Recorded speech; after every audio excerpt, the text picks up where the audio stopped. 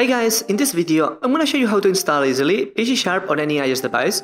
As you can see here I have PGSharp installed on my iPhone 12 Pro and I'm gonna show you now how to uh, basically install it and how it works. So I'm gonna first set up my birth date right here and as you can see it's basically the same PGSharp app that you can find on any Android device because uh, right now officially uh, this app is only available for Android devices but uh, one guy basically tweaked it the way that you can work that it can work perfectly on any iOS device. So as you can see on the top left we have the this menu where we can find the map, how to walk, feeds, but I'm gonna show you just the settings page where you can see all the settings that we have here uh, thanks to this Pokemon Go spoofer.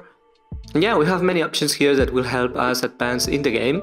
And this is really cool because PGSharp is one of the best uh, mods for Pokemon Go. And now we can have it on, on, on any iOS device, okay? And yeah, that's all, that's pretty much all. And now uh, let's go uh, into the installation.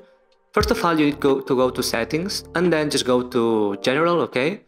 Because we need to first set up our device to be able to install this app. So go to general, then go to background app refresh and just make sure that this is turned on, okay? As you can see here. Okay, the second step is just uh, keep scrolling down, go to battery, and make sure that the low power mode is turned off. And then uh, finally scroll down until you find your browser that you will use. In my case, I will use Safari, so I'm going to press to Safari.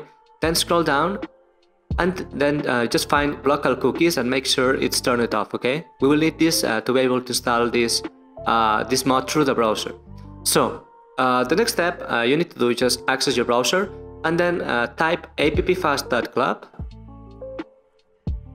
This is the official website of the developers of this mod that they have tweaked it to be able to work on iOS. And right here, uh, just uh, find PGSharp and then press on the app and press on the blue button that says Start Inject.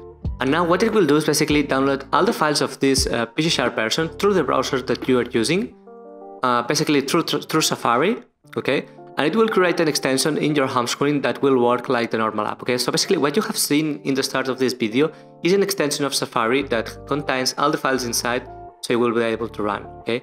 Okay so, uh, this is the last step. So all we need to do here is just install two apps from that page and just complete the instructions inside that app. So I'm gonna install Solitaire, just play for 30 seconds, and after that just install CyberGhost, just complete the instructions of each app, and now you can go back into the basically this page and then just refresh it so it can check that you have completed it. And as you can say as you can see it says that the app has been injected and to please check my device home screen. And here it will be installed PGSharp as you can see and you can remove it anytime you want. And yeah that's pretty much all. So i hope that you like this video. Don't forget to like and subscribe and see you guys in the next video